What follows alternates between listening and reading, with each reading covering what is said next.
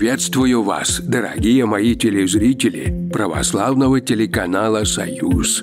Я дед Еремей. Завтра на календаре 31 августа.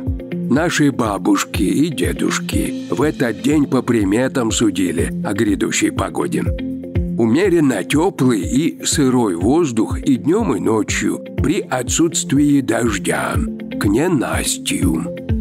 Коровье молоко закисает вскоре после надоя, перед грозой.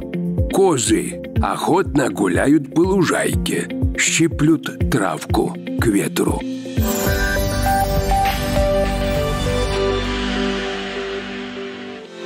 А какая же погода ждет нас завтра, 31 августа? Сейчас я вам об этом поведаю. В селе Верхняя Эконь Комсомольского района Хабаровского края. Плюс 22. Лето еще не сдает своих позиций. Послезавтра чуть-чуть потеплеет. И, наконец-то, без дождей.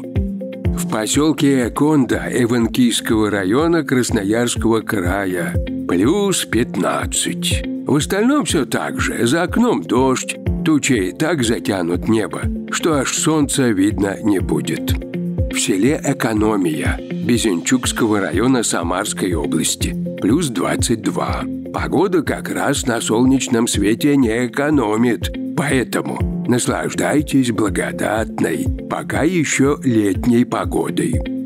В селе Экономичино Свердловского района Орловской области и вовсе плюс 27. Как сообщают синоптики, вторник окажется жарким и душным –